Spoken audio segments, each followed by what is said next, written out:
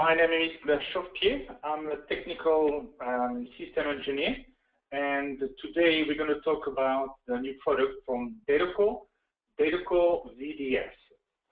So all the participants are in mute, so um, if you do have some questions, please type in the chat box, and we'll try to uh, reply at the end. So um, basically, this PowerPoint presentation um, will be split in two parts. The first part is uh, PowerPoint driven, and the last part will be um, demo driven. So um, if you do have any questions, please don't hesitate to type your questions. This session is recorded, so you will receive a link uh, from um, our marketing, so you will receive soon a link. And if you are interested to test the product, uh, please tell me uh, at the end by email, and uh, you will receive a NFR for 90 days. So um, sometimes when we talk about um, VDI project, we talk about mainly um, two big names, um, which are VMware and Citrix. And sometimes the, those um, projects are associated with big number of uh, virtual desktops to uh, deploy. So uh, you think about um, when you do have a VMware, for instance, you do have need a composer, a view manager, a RAID array with powerful when you when you uh, have your clones and desktops. But when you talk about Citrix, it's the same. So you need some Xen servers, you need to Xen desktops and links and share. So everything seems to be and or for bigger customer. So um, what we've done with Datacore, we released a product we could fit with SMB market and very small, medium, and and uh, bigger market. So um, Datacore obviously has not changed our view in terms of uh, storage virtualization, we're going to use our power and experience on virtualization, on disks, on servers, to put the same approach on PCs. This is where Datacore will bring you another tool in your toolbox. It's the VDI, Virtual Desktop Infrastructure. So traditionally, when we talk about uh, VDI offers, are sometimes complex and costly. Why? Because you need a need shared storage, you need a SAN, you need performance. So um, obviously uh, we talk about 500 desktops and more, and it could be very expensive and very easy um, to set up, not probably for a small customer, but it could be easy for a bigger customer. So um, what Datacore um, thought was, okay, we've got a great experience into how to provide virtual disks, how to provide performance, how to enhance IOs. So this is why we've decided to uh, launch a new product called VDS on the market only for small and mid-sized companies. We've got um, tools uh, for 50 VDS, 100, and 200 workstations. Okay, so we are not limited technically to 200, but it's the way we want to position ourselves. We don't want to compete against the VMware or Citrix. What we need to do is a VDI for smaller companies.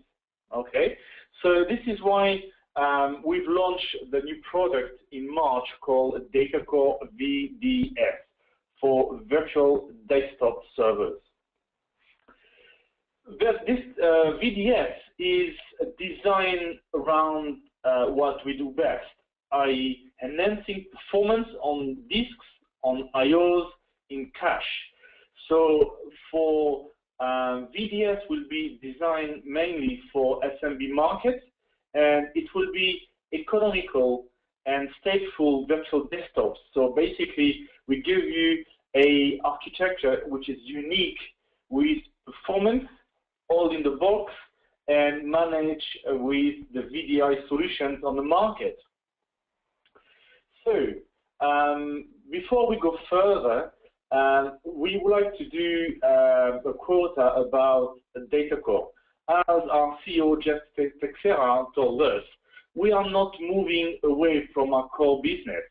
So basically, uh, Symphony will be still our main business core, but DataCore VDS is a new uh, tool for um, small and medium business for VDI solutions.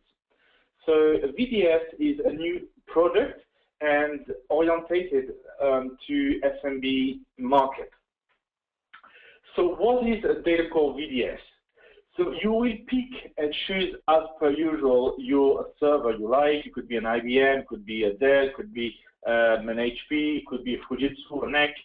Then you will put some uh, CPUs, some RAM, some um, um, network cards, and some disks.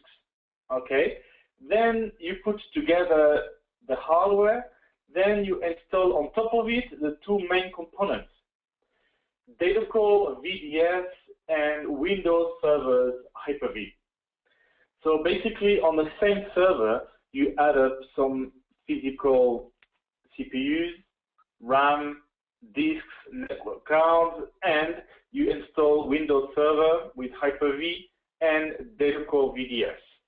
And then, as per usual, we, we are turning this Windows Server as a VDS server. So what we're going to do, we're going to emulate the capability to run RDP. So we can run as many RDPs you want. Okay, so uh, basically, in terms of licensing, uh, you need to have either VDS 50 for 50 VDIs, VDS 100, or VDS 200. Then once you've installed DataCore VDS and enabled the virtual uh, machines, what we're going to do, we're going to administrate via an easy to set up VDS tool first. Okay, it's a wizard. Then you, you will administrate on a web portal.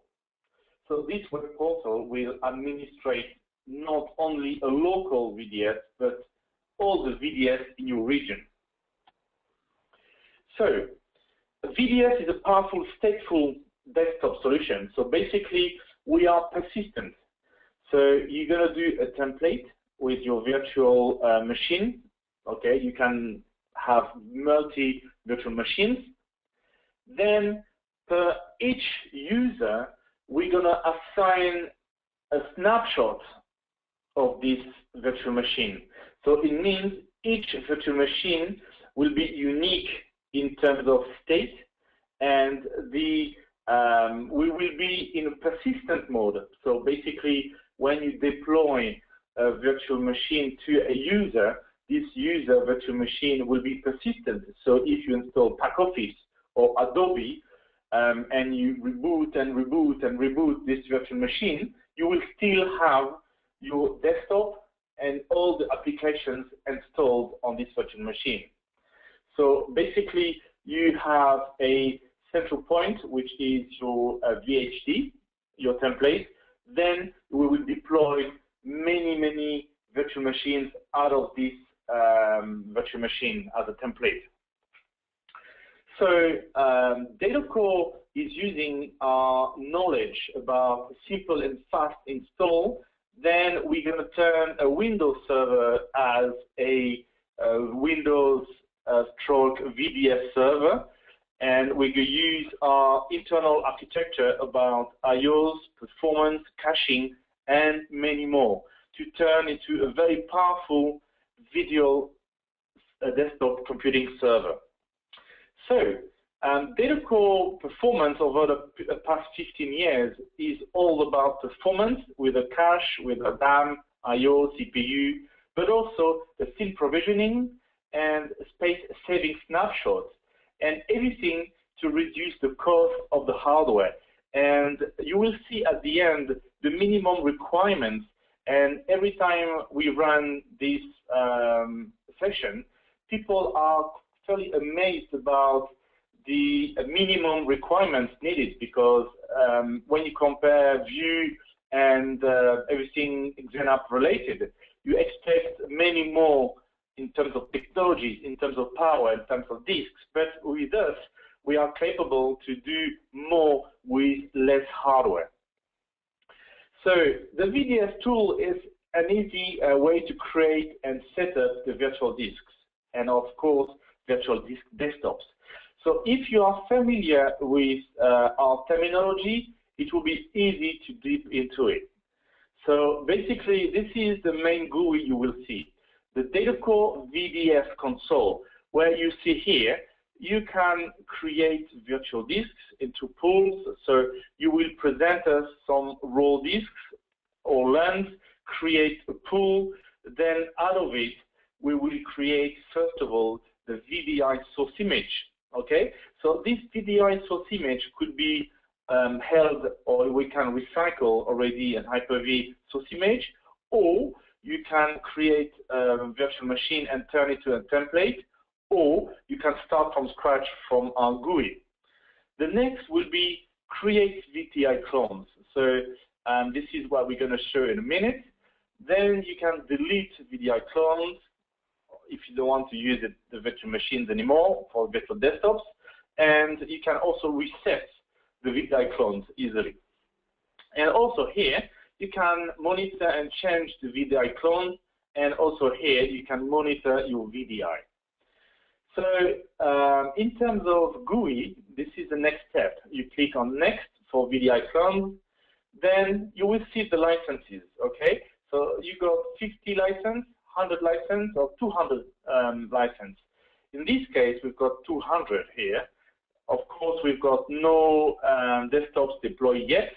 And of course, um, if I've got a license of 200 and none deployed, I could be uh, deploying uh, 200. Then they ask me, how many VDI clones you want to deploy? Then you will have the choice for source images. So we can hold many source images for your virtual desktops. Okay? So uh, then you choose on which storage pool. Okay, so another name which are pretty familiar with the data core people using it.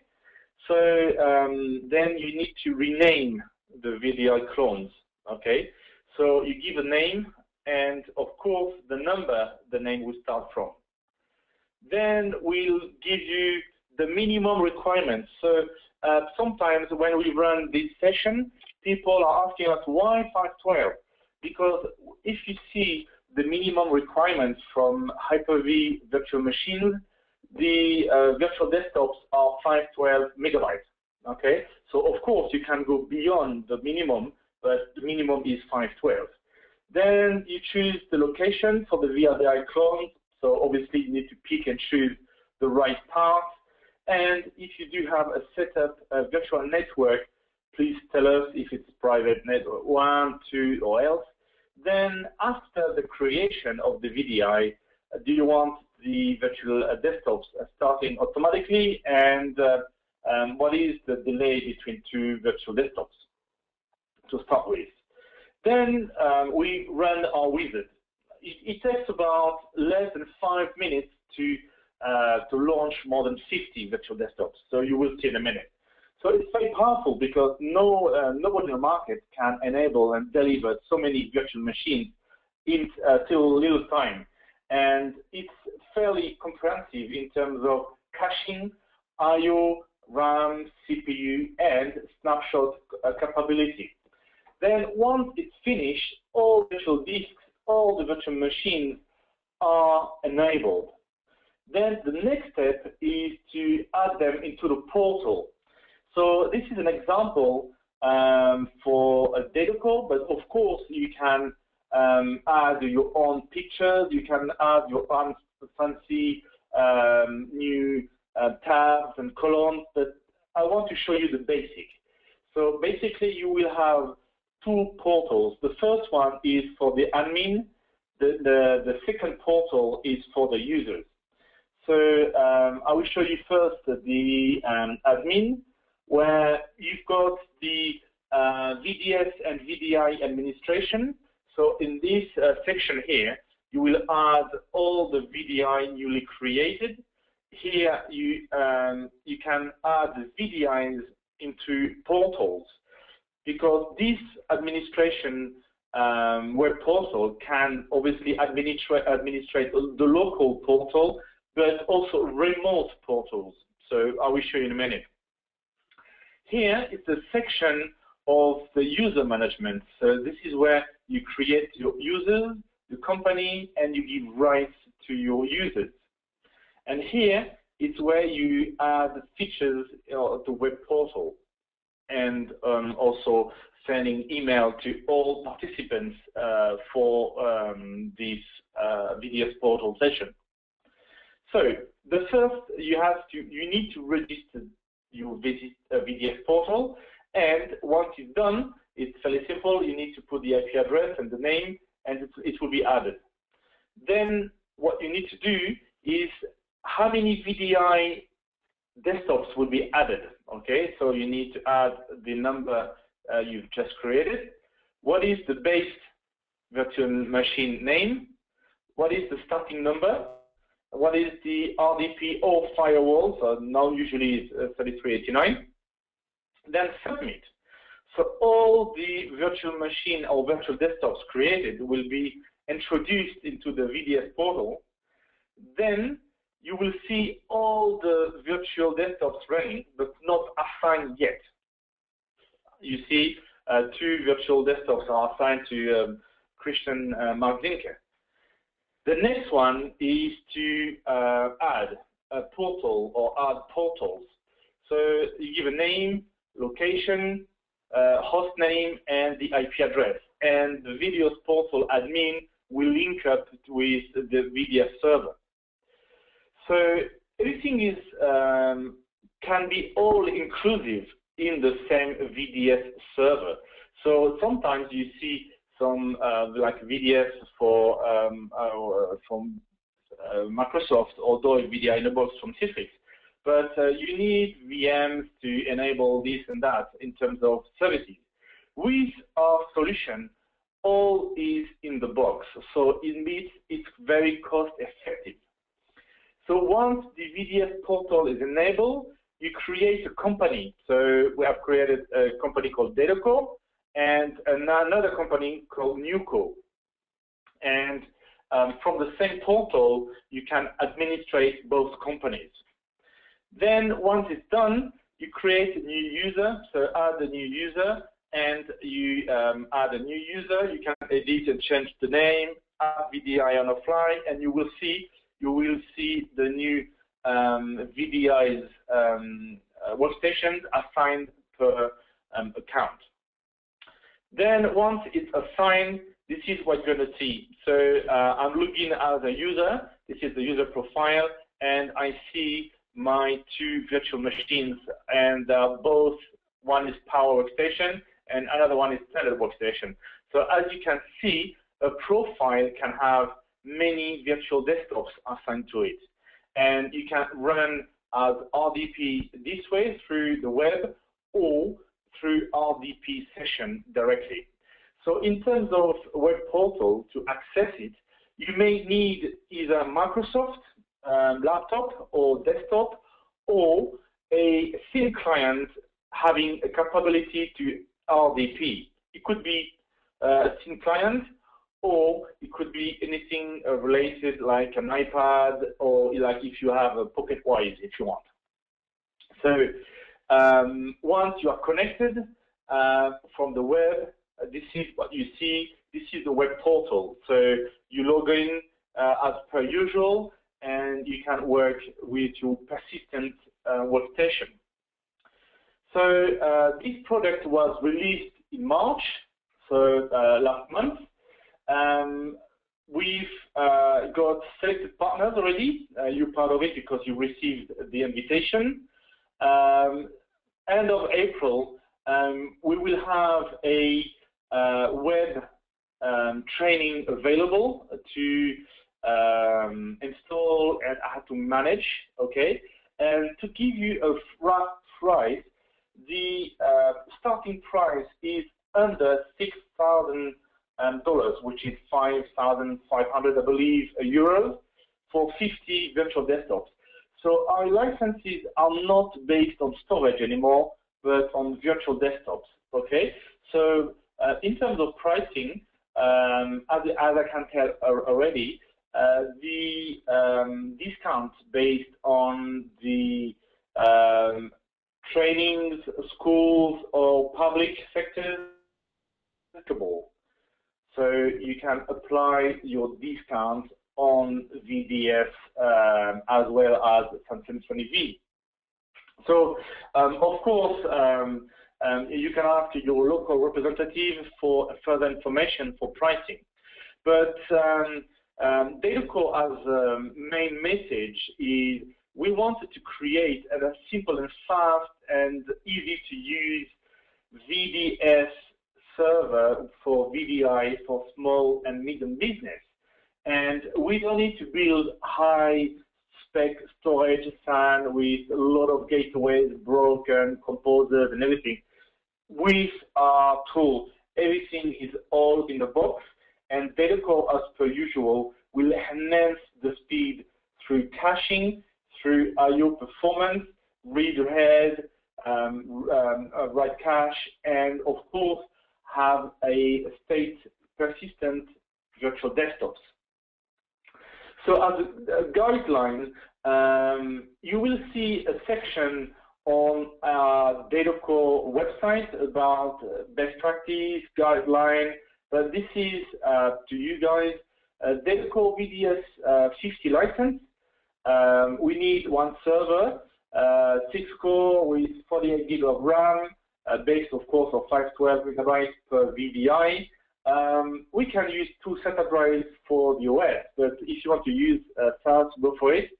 Uh, for the data, uh, it was a 4 times 300 gig uh, SAS drive, and um, of course, if you want to put template on all a SAS drive or SSDs even, it's going to be faster. And um, you need two ports gigabit for one for the management port and one for the VDI. Um, I think it takes about 50 kilobytes, uh, the network, so it's very, very small. Then if you want the VDS 100, um, 6 core, 96 uh, gig of RAM, uh, 300 gig of SAS, uh, 5 times, and 128 gig of RAM for 200. So as you can see, the specs are not tremendous, but Datacore will enhance the speed through our methodology caching over CPUs, RAM, and disk. So this is why uh, it's very focused on SMB market. So I'll leave you um, a few seconds um, to type your questions. And what I'm going to do, I, am going to uh, jump into um, the demo session um, while you're typing all the questions. So um, this is the uh, demo uh, center, which is based in uh, Germany. So um, you will see I may have a, a keyboard problem, despite having the French keyboard. So this is a Windows 2008. Um, I could have done a 2012, but um, this is a 2008 R2, and I've got a 96 uh, gig um, of um, RAM and um, I will uh, show you Hyper-V. I've got no virtual machines right now or virtual desktops. And I will um, go into a state where I will create those um, virtual desktops.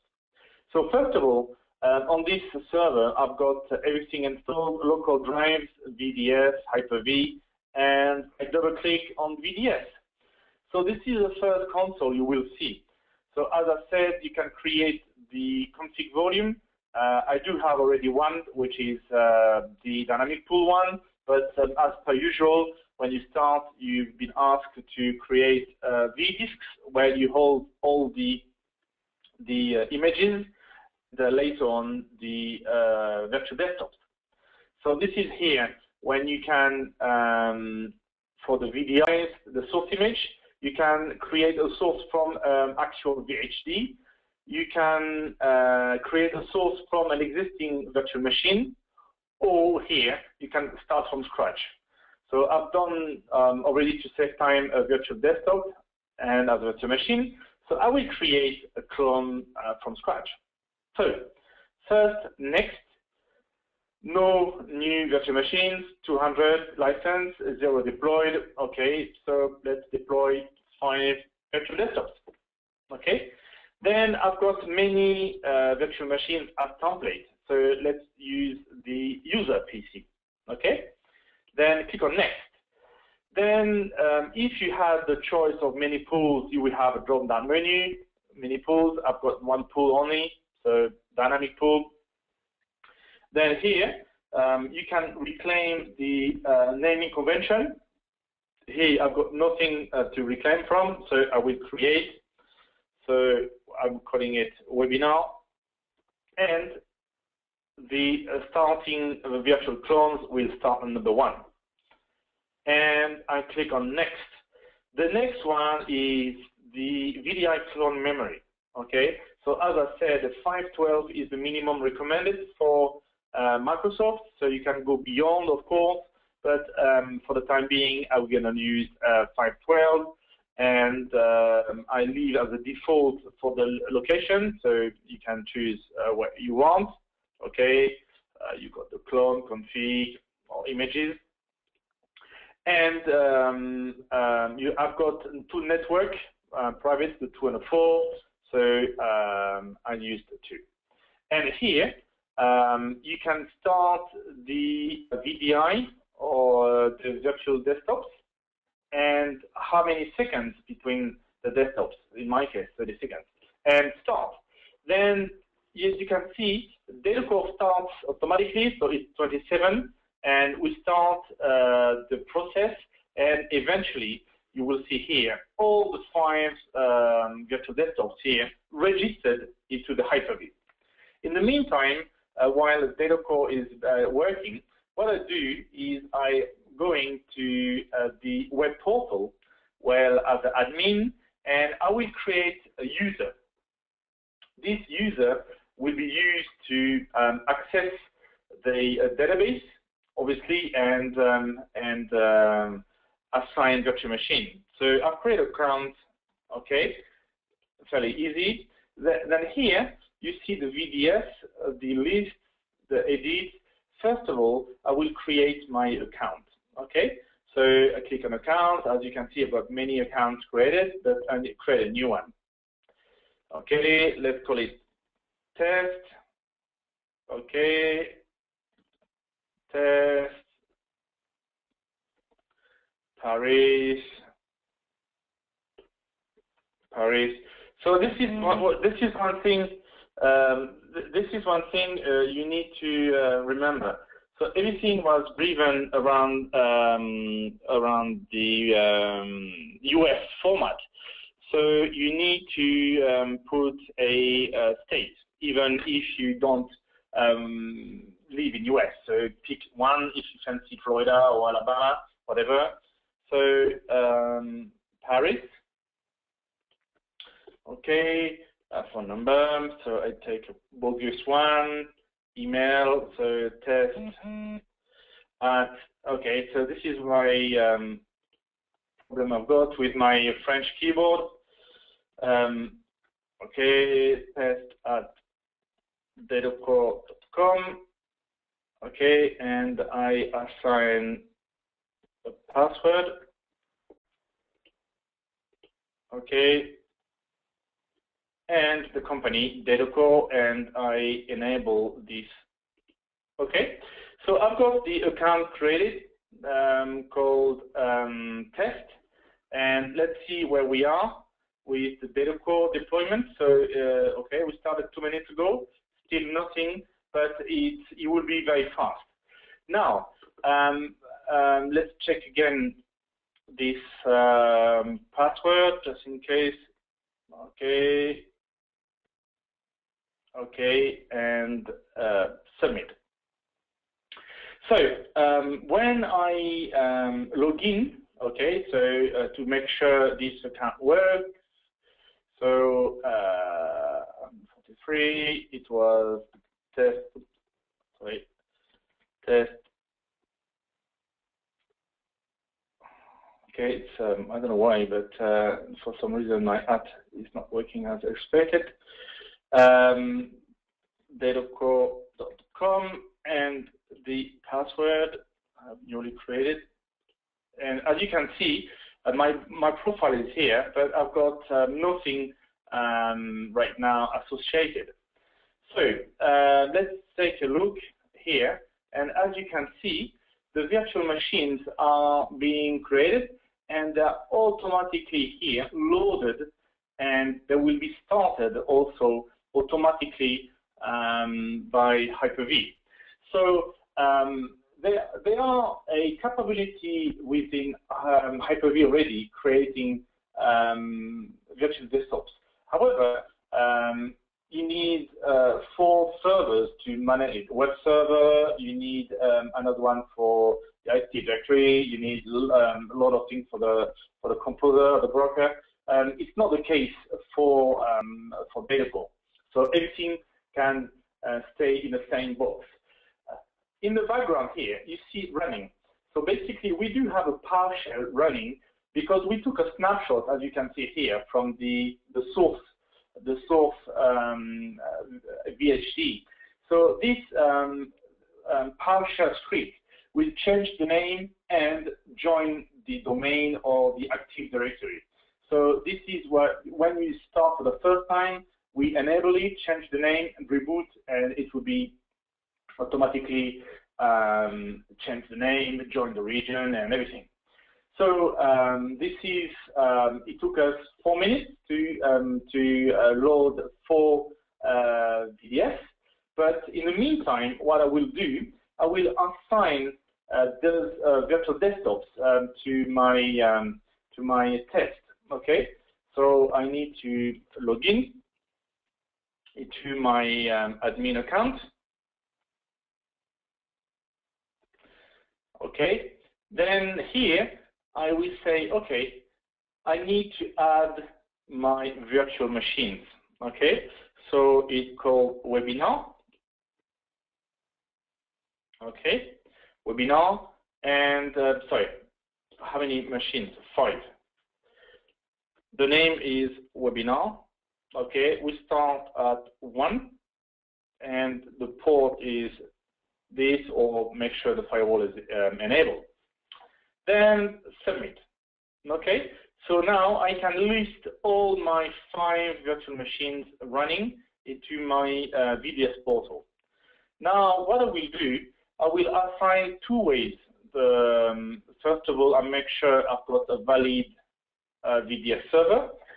Then here, I will see my, uh, I can um, either assign this webinar one to um, a VDI owner this way, drop down and I see my test.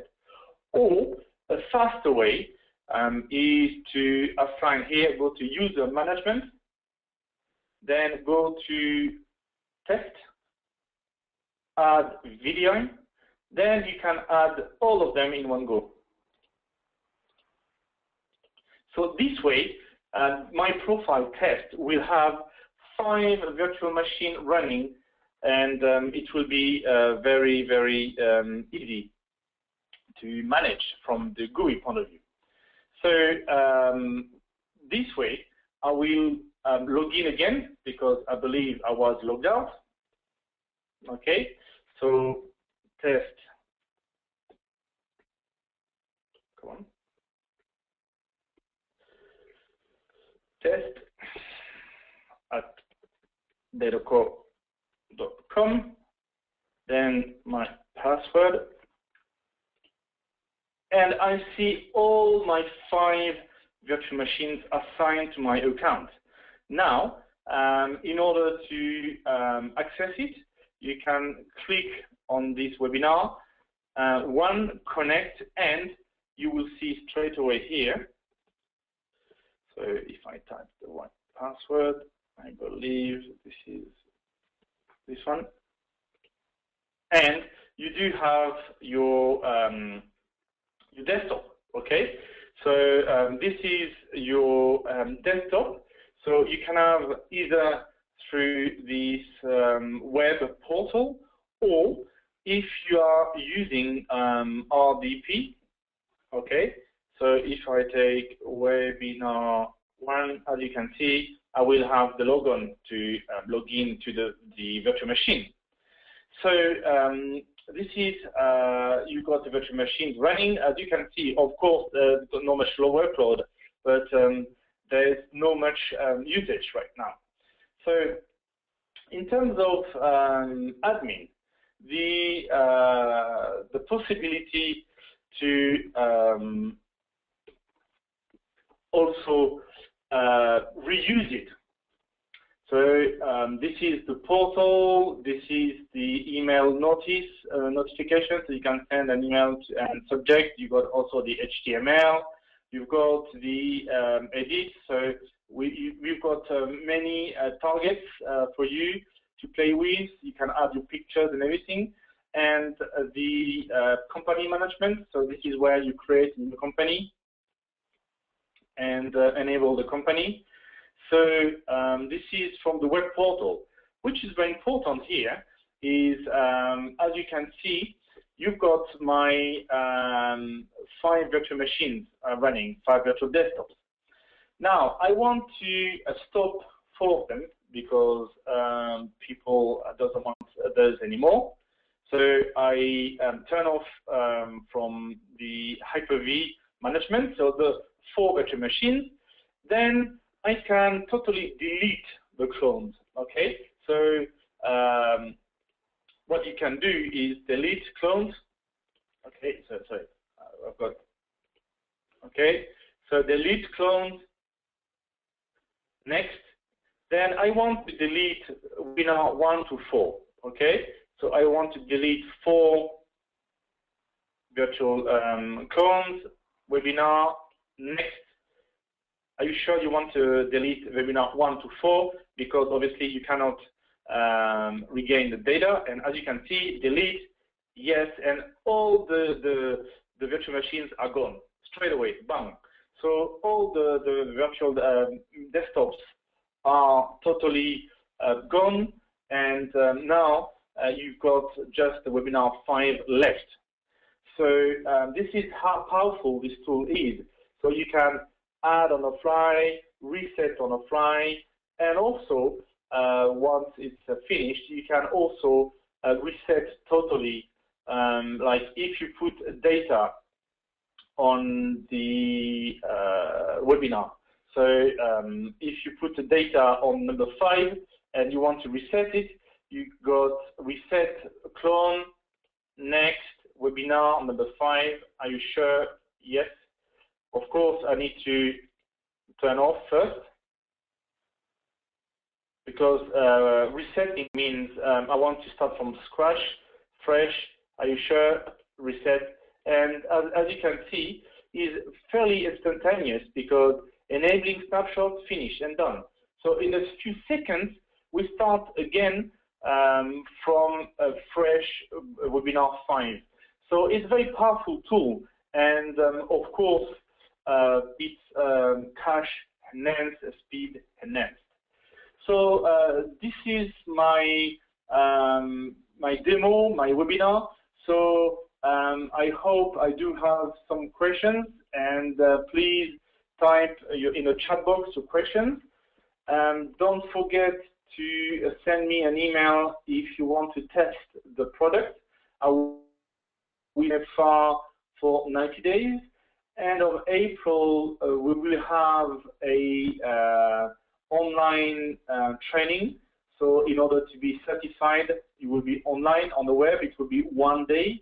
And um, of course, um, it's um, open to all the partners uh, selling DataCore. And of course, if you want to have even more performance, you could have as the virtual disks inside the VDS some virtual disks coming from SANsymphony-V. So um, I thought I was very clear because I've got no questions uh, so far. So um, thank you very much uh, for your interest. Um, this uh, webinar was recorded, so you will receive uh, a link to the video soon from uh, marketing. So don't hesitate to contact me if you need further questions or further demo for your customers. Thank you very much for your time and have a nice afternoon.